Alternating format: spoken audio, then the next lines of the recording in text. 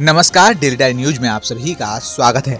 भारत और West Indies के बीच आज तीसरा टी ट्वेंटी मैच खेला जाना है और इस मैच में भारतीय कप्तान विराट कोहली ने टॉस जीतकर पहले गेंदबाजी करने का फैसला किया है।